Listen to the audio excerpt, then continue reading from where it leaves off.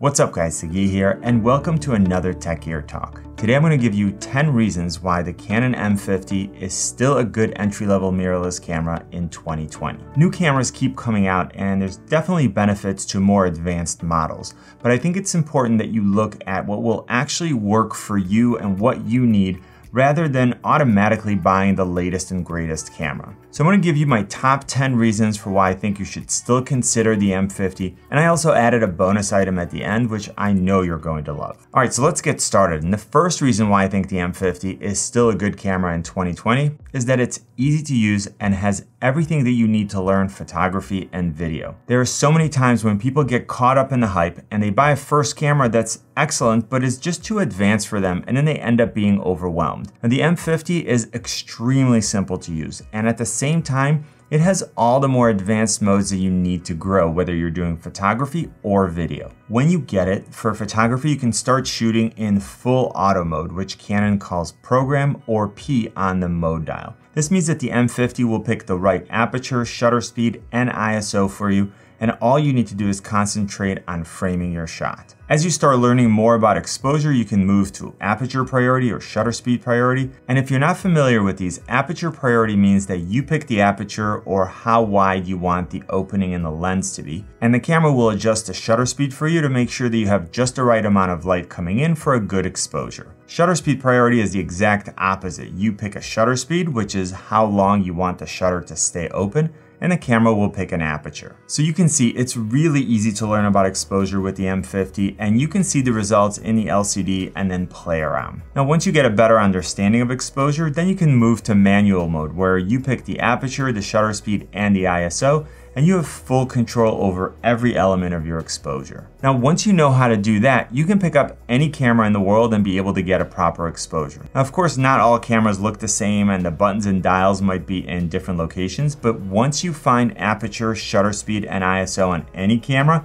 you'll know how to use it. And the M50 even has exposure compensation, which gives you more advanced options for intentionally over or underexposing your image. And if you need help with exposure, I'll link to a video that explains everything and will give you more detail to help you out. Now moving on to video, when you're starting out, you can just select a frames per second option, then you set your shutter speed accordingly and you're all set. And in that respect, video is simpler than photography because you very rarely change your shutter speed. And I actually have a two-part tutorial about setting up the M50 for video, which covers everything you need to know. Part one covers what you need to do before you start shooting in terms of the actual setup of the camera. Part two teaches you how to shoot and then easily achieve beautiful results. And I'll put links to those up in the corner and in the description. All right, so let's move on. The next reason why I still really like the M50 is that it has outstanding autofocus. One of the features that I'm never willing to compromise on is autofocus. Yes, I know that people use manual focus for years, but I don't have to anymore. So what's great here is that whether I use the electronic viewfinder or the LCD on the back, the M50 uses Canon's fantastic dual pixel autofocus system, which has always been one of my favorites. This gives the M50 the edge over Canon DSLR cameras, which only use a dual pixel autofocus when using the LCD. It's extremely reliable, it has face and eye tracking for photography, face tracking for video, and it even has subject tracking for both. So I can just click on a subject and the M50 will follow it and then keep it in focus even as it moves through the frame and gets closer or farther away from the camera. When shooting portraits, the M50 will automatically detect the subject's eye and lock on it for focus, so you can just concentrate on framing your shot and engaging with your subject. For video, as soon as a person enters the frame or if I have the camera facing me, the autofocus system automatically detects me and starts to track my face. And again, I love the fact that we're getting this functionality in both the EVF and the LCD. And this brings me to the next reason I like the M50, the electronic viewfinder or EVF. An electronic viewfinder is different than what we have on DSLRs, which have an optical viewfinder. And let me take a second to explain the difference because it's very important. In a DSLR like the SL2 or SL3, light travels through the lens and then hits a mirror that sits right in front of the sensor. The image is then redirected up the camera where it hits another mirror and then one more, and then finally it shows it to you through the optical viewfinder.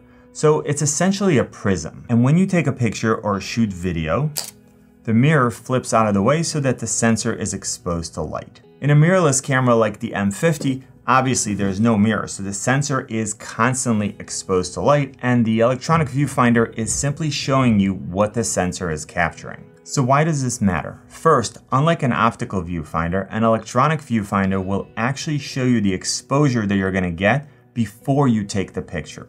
So with a DSLR, if you take a picture, look at the preview and it looks too dark, you know that you need to add more light. So you might open up your aperture or shorten your shutter speed or raise your ISO.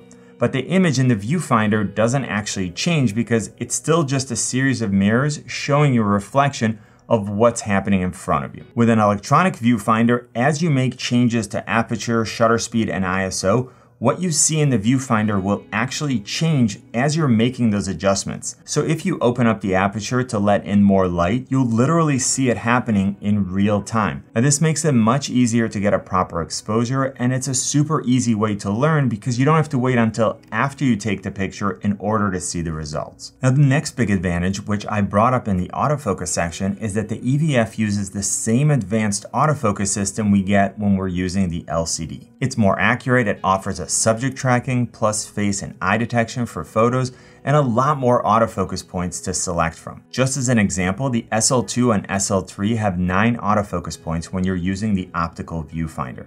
And depending on which lens you use, the M50 can have up to 143 autofocus points, which clearly give it the edge. There's also this awesome functionality where you can drag your thumb on the LCD when you're shooting photos or video, and the focus point will follow the position of your thumb and either move the focus point or lock onto the subject depending on your setting. One other advantage of the EVF is that you can use it when shooting video. So if you're filming outside and it's really bright and you're having a tough time seeing the image on the LCD, you can just use the EVF and get a perfectly sharp and easy to see image for framing and for achieving a proper exposure. Next, I want to talk about color science. The M50 renders colors beautifully right in the camera. And this has been a Canon strength for years. And personally, I appreciate being able to grab a JPEG right out of the camera and use it without having to mess around with the colors too much. If you want to have even more control over your image, you can always shoot in RAW and then you can really start playing around when editing. I test and use a lot of cameras and I've been doing this for a long time, so I can get good results with any camera at this point but being able to get great color and accurate skin tones in the camera is awesome and it saves me so much time. This way, I don't have to edit every single picture, and if I just want to quickly share something on social media or text it to someone, I can just wirelessly transfer it to my phone and it already looks great. Now, before I continue, if you like what you've seen so far, let me know by giving this video a thumbs up. It helps me know what kind of content you like so that I can make more of it. And if it's your first time here,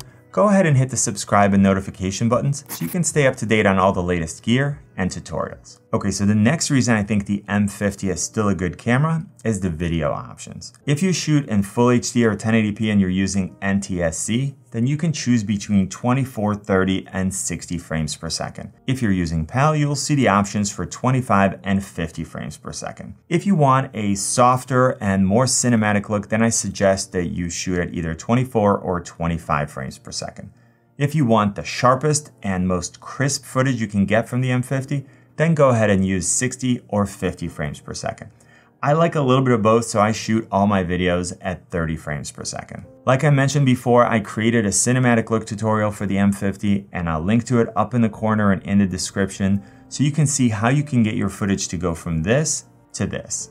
Now being able to shoot at 60 frames per second and then editing in 24 frames per second will allow you to do slow motion by a factor of 2.5 times. And again, if you have questions about how that works, go ahead and check out the tutorial. The M50 can also shoot 4K in 24 and 25 frames per second, but with some limitations like the lack of dual pixel autofocus and an additional crop. I don't often shoot 4K with this camera, but in my tutorials, I do mention a few situations where it's actually very helpful. And 4K is one of those features that I was alluding to in the beginning, when I mention having to figure out what features you need and what will actually work for what you're doing. Do you need 4K? Do you have a computer that's powerful enough to edit 4K footage? Do you want to deal with the additional storage needed for the larger files and then having to invest in faster and more expensive memory cards? There's not one right answer that will work for everyone, but in my opinion, if you really want 4K from a mirrorless APS-C Canon camera, you should look at the M6 Mark II, which is a great option. All right, the next reason I wanted to talk about is this awesome fully articulating touchscreen. This is by far my favorite design because of regardless of how I use the M50, I can always have the screen facing me. If I'm shooting from the hip or the camera is low to the ground, I can just go ahead and have the screen flipped up. So again, I can see what's going on. If the camera's on a tripod or if I'm shooting over a group of people, I can just flip it down so I can see it when it's over my head. If I'm using a slider or a gimbal, there are times where having the screen face the side like this is the best option. And this is also true if I'm shooting vertically and the camera is below eye level, I can still see exactly how my shot is framed without having to get my head all the way down to the ground. And finally, if I'm in front of the camera or vlogging, I can just flip the screen to face the front. Now, not everyone is gonna use their camera in all the ways that I mentioned, and some people prefer the more compact flip screen design on something like the M6 Mark II. But I always like having all these options available to me when I need them. Now on top of the flexibility in terms of positioning, the screen is also a full touchscreen, so I can control the camera from the screen without having to use the directional pad, buttons, or dials. I can set focus, control my aperture, shutter speed, and ISO, and I can even enable touch shutter, which will get focus and then take a shot by touching the screen, so I don't have to use the shutter. The touch functionality also extends to the main menu.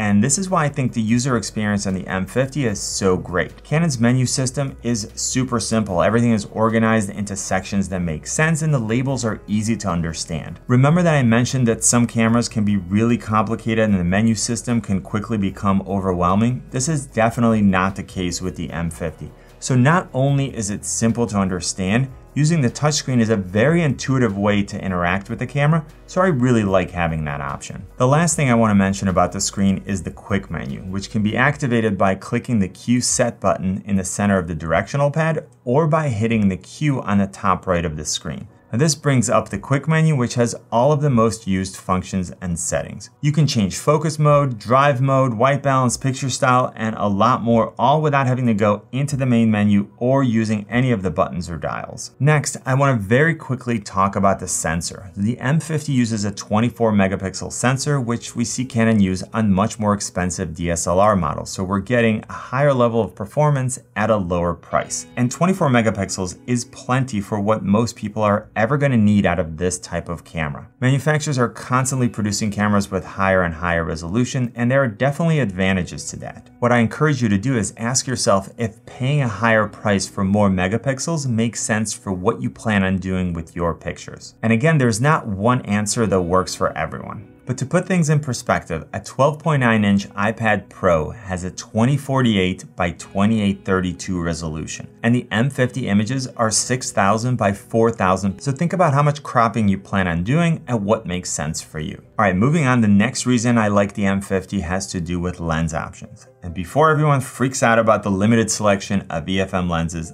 let me explain. The M50 natively accepts EFM lenses which are light and compact. This makes for a great travel setup whether you're using the kit lens or one of my favorite lenses, the 22mm f2. Now there has been some well-deserved criticism of this mount because Canon has not released enough fast, sharp prime lenses and it was great to see that Sigma came out with their 1630 and 56mm f1.4 DCDN lenses, which now give us some fantastic options. I have a video dedicated to these three lenses, and if you're considering this camera or you already own it, I definitely recommend that you check it out, so I'll link to it up in the corner and in the description. In addition to the available EFM lenses, we can also use an EF EFS to EFM adapter, and now we can use any of Canon's extensive lineup of lenses or even third-party lenses. A really popular option is a lens like the 50mm f1.8, but we're not limited to budget lenses, and even the top-of-the-line L-series glass will work beautifully with the M50 and get us fantastic results. We can also use lenses designed for APS-C sensors like my favorite lens, the Sigma 18-35 f1.8. It's fast, it's versatile, and it's a super powerful combo with the M50. And uh, one last option that we have is using lenses designed for full frame camera with a speed booster like this one from Commlite. First, it's a focal range reducer with a crop factor of 0.71, meaning that if we look at something like the 50mm lens, which would normally give us an 80mm field of view on a Canon APS-C sensor,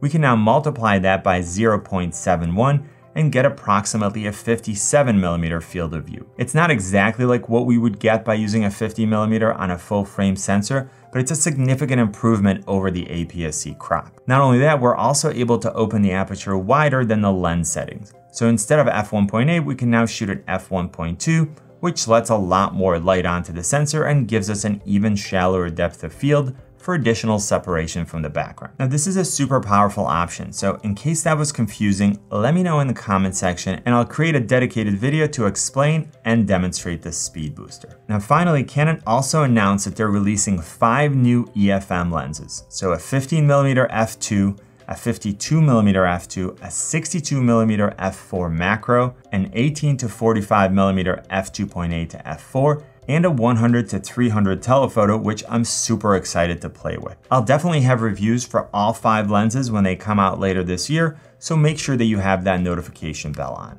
I also have a more detailed video about my favorite lenses for the M50, and I'll link to it up in the corner and in the description. Alright, moving on to the next reason I like the M50, we have the mic input, which lets you connect an external microphone and then get much better audio than the built-in microphone. Now, a lot of people spend the majority of their time looking at cameras and lenses, but they completely overlook audio. And this can be a big mistake because audio plays a huge role in how the viewer perceives your video. So here I am recording directly into the M50's built-in microphone. I'm in a pretty well treated room. I'm sitting probably about three feet away from the camera using the Sigma 30mm f1.4. So this should give you a good idea of what you should expect if you're using the built-in microphone again in a pretty well treated room. And now I'm using the Deity V-Mic D3 Pro. I've got it right out of frame, it's right out here and then it's wired directly into the M50 so I'm still using the M50's preamps but I'm able to turn them down because I'm letting the microphone amplify my sound. So this should give you a good idea of what you're going to get when you're using a professional microphone plugged directly into the M50. I'll put some links in the description to a few options that would pair well with the M50 and let me know if you have any questions about audio because I know it could be a little intimidating. All right, so that brings us to number 10. And don't forget that I added a bonus reason at the end. So the number 10 reason why I think the M50 is still a good option is the price. Right now in the US, you can buy the M50 with the 15 to 45 millimeter kit lens for about 600 bucks brand new. You can find it for even less used. So this ties right into what I was talking about. I would rather have you buy a less expensive body to start with and then spend the rest of your budget on lenses, lighting, audio, and accessories. In my experience, a better lens improves my images more than a better body and better lighting will make an even bigger difference. So starting out with a less expensive body and then investing in lenses is definitely a philosophy that I subscribe to. Alright, so that brings us to the bonus item. And one of the reasons some people have for not getting the M50 is the lack of clean HDMI output for live streaming. We pretty much always had the ability to use paid software to get a clean signal to our streaming software. But earlier this year, Canon released the EOS webcam utility which now lets you stream for free with the M50. I created a dedicated video showing you how to do that as well as troubleshoot the most common error that people run into so make sure to check that out if that's something that you're interested in. You can use the M50 for something like Zoom or in streaming software like OBS and really up the production value of your streams. Alright, so I did my best to narrow down to just 10 items plus the one bonus item but there are definitely some honorable mention features like in-body time-lapse, remote control functionality for both photography and video using the Canon Camera Connect app, the ability to customize the functions of the buttons and dials, and a lot more which I cover in my in-depth review. In my opinion, the M50 still represents an excellent value even in 2020 for someone who doesn't need 4K. It's a great beginner mirrorless camera and will allow you to learn everything you need to know about exposure, easy to use, has dual pixel autofocus when using both the electronic viewfinder and the LCD, excellent color science, has a great fully articulating touchscreen, a 24 megapixel sensor, compatibility with three different lens systems when using an adapter, and an external mic input for better audio. Now I'd love to know what you think about the M50. You think it's still a good beginner mirrorless camera and then why or why not? If you're looking for a more advanced APS-C mirrorless camera from Canon, you should definitely check out the M6 Mark II and I'll put links in the description to my detailed review of the M6 Mark II and a comparison with the M50. The M50 body plus the kit lens sells for under 600 bucks brand new, and I'll put links in the description to the body as well as some lenses and accessories that I like because there are always specials and discounts and the links will be automatically updated with the lowest pricing. I really hope I was able to give you a good overview of the M50 in 2020. If I did, it would mean a lot to me if you let me know by giving this video a thumbs up. And if you haven't yet, go ahead and join the community by hitting the subscribe and notification buttons. For more opportunities for live interaction, you can always find me on Instagram, Twitter, and Facebook at Tech Gear Talk. And you know what I always say buy it nice or buy it twice. Good luck and see you soon. I hope it's recording. I don't know if it's recording. I know that one's recording. Okay, cool. So I can just click on a subject and the MC, no, but that's not, that's not true. I really, I really, I really, I really, really. How about I really try to get this sentence right next time? Compatibility, compatibility, compatibility with, combat. I'm struggling with this last part. Like I can't get away. I really, really, really, really, really Really. Maybe maybe it's that word really that I can't say. Alright, I got this.